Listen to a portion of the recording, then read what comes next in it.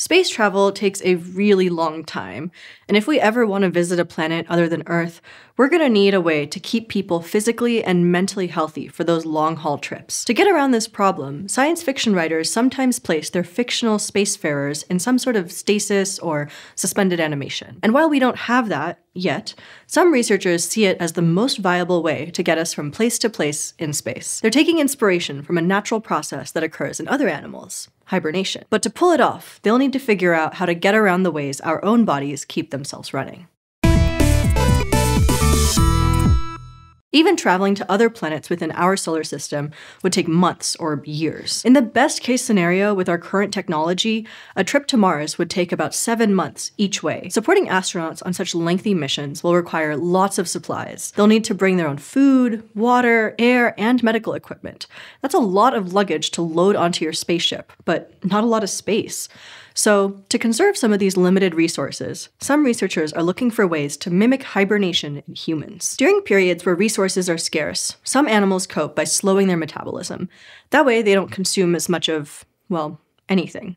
They don't breathe as often, their body temperatures drop, and they don't need to eat or drink or poop as much. And this sluggish state is known as torpor. When animals hibernate, it involves periods of torpor, lasting days or weeks, with a day or two of activity in between. If we could get human bodies to do something similar, our space journey wouldn't need as much stuff. We don't really know how hibernating animals trigger this state, but we do know that humans haven't evolved to do it naturally. If we want to imitate torpor or hibernation in space, we're going to have to do so by artificial means. And the good news is that we can already copy some of the effects of torpor in the short term by using medicines. We use sedatives to slow people down and anesthesia to keep them unconscious and immobile during surgery. Cold temperatures can also slow a person's metabolism, but there's a catch. Our bodies have to maintain a constant temperature. If things dip too low, our bodies will expend more energy to stay warm, and that's when your body starts to shiver. Our muscles quickly contract and release, which builds up heat, though it does cost energy.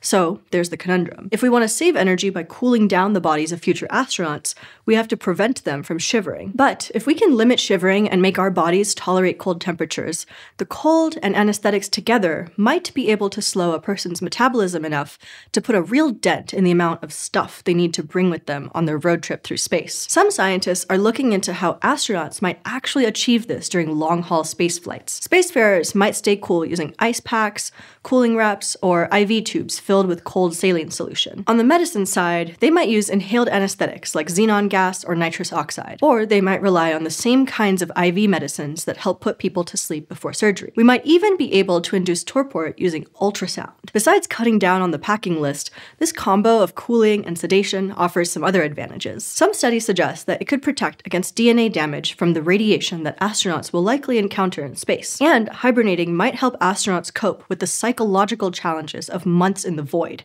if they can nap most of the way to their destination. We haven't tested anything like this at the timescales we'd need for space travel yet, but researchers are starting to look at how these different approaches affect the metabolism over, say, a few hours. One 2025 study looked into using a sedative that doesn't actually require people to be fully unconscious. Scientists wanted to see if they could slow a person's metabolism without needing full anesthesia. Instead, they used a sedative called dexmedetomidine. Doctors use this drug to start the process of putting people to sleep before they start surgery and full anesthesia. And it's been shown to prevent shivering as people get colder, up to a point. In the study, scientists gave 11 volunteers an initial dose of dexmedetomidine under their tongues. They also received a slow subcutaneous drip of the drug over the following six hours. That's like an IV, but instead of injecting the medicine into a vein, it goes into the fatty tissues under the skin. Some of the volunteers also had cold packs stuck to their backs. These chili pads were full of cold water to help bring the volunteers' body temperatures down. Each volunteer also swallowed a tiny electronic thermometer, just for study purposes, of course. And every 15 seconds, that thermometer recorded the temperature inside their bodies. Once they were all geared up, each person hopped onto a stretcher, tucked themselves in under a light blanket, and settled down to rest for about six hours. And during that time, the scientists monitored their body temperatures, breathing rates, and vital signs. They also recorded how much each person shivered. Throughout the experiment, the volunteers' heart rates and metabolisms slowed down. They also didn't shiver much, which meant that their bodies weren't spending extra energy trying to warm them up. People who wore the cooling packs had lower body temperatures by the end of the experiment, but most of the change in their metabolism was due to the medicine, not the cooler temperature. Other studies suggest that lowering someone's body temperature does slow down metabolism, though, so it's not yet clear whether that effect could stack with this particular drug. Dexmedetomidine slowed people's metabolism safely and reversibly for a few hours, but we still don't know if it's suitable for long term use, like on a mission to Mars. After all, six hours is a far cry from seven months.